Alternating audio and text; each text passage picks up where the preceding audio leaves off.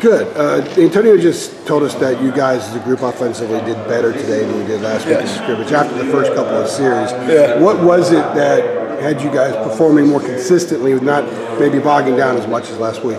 Well, we just we kind of what shot us in the foot is last last week we kind of started flat. We never really picked it back up.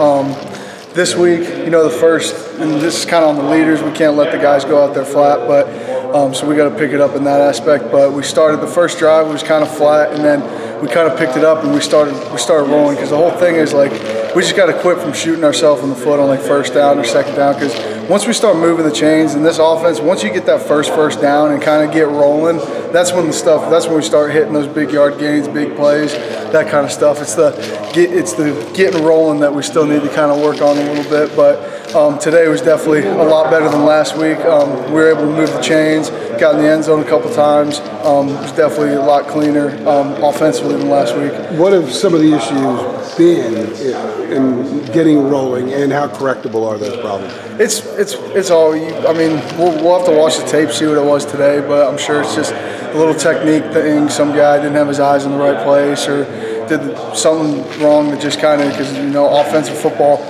You got to have 11 guys doing their job to have a productive play. You know, if the 10 guys are doing their job and one guy doesn't gets beat, then the play can get shot down. So um, it's just making sure everyone's on the same page, starting, um, having good intensity on that first play. You know, kind of setting the tone.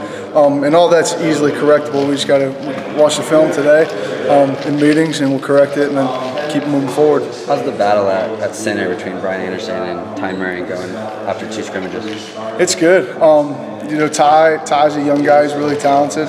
Um, he's still a freshman though, so he's still raw. He's got some technique stuff and just some football IQ stuff he needs to tone up. Um, as I mean, as we all do. But you know, being a freshman, it's a little bit harder coming in. He's starting to play against you know grown men that have been in college football program for a while, and it's just and he he's been handling it really well. Um, he's definitely he definitely looks like somebody that's played center before, so he's he's comfortable snapping, so that's good because it's not he doesn't really have to think about it all that much. Um, but and then BA, um, like I said, I mean he's been doing great. He's, he's, he's an effort guy. He's going to give it everything he's got.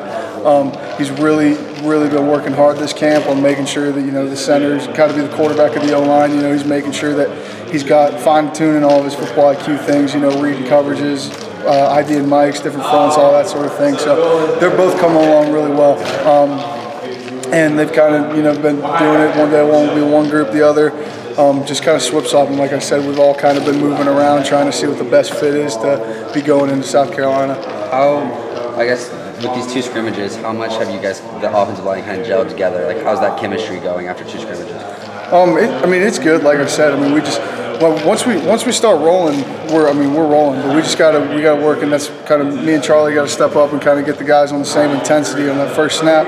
You got to set the tone because that first snap can, I mean, at least mentally for some people, make or break a game. You know, you come off the ball and you really stroke somebody on the first play.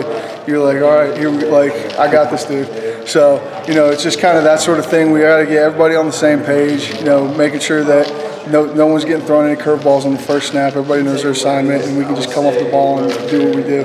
How much work are you getting at center still? Kind of on a daily basis, or Yeah, um, I've been getting a little bit heavier load uh, this week. Um, I was at center all day today, so like I said, I'm gonna I'm gonna go wherever they need me. I'm gonna go where, whatever's best for the team. So if that's if I have to punt, I'm gonna go punt. So, um, but uh, yeah, That might be interesting. Yeah, back in the day, I might have a little film of me doing that. But um, like I said, I mean, I'm gonna go where they need me. If that's a center, that's a center. Um, I'm able to do all three of the positions on the inside. So, um, you know, if, somebody goes down, uh, I can swing over. A young guy can step up and something that we're uh, comfortable with, and I have no problem doing that. Generally speaking, uh, you get when you look back at last week's scrimmage and then today. Do you feel pretty good about the progress you guys made as a group? Definitely, definitely. Um, I think last week, um, as, there was there was a lot more like kind of missed assignment stuff, um, different blitzes. You know, just not picking stuff up, which we kind of shut down today. Um,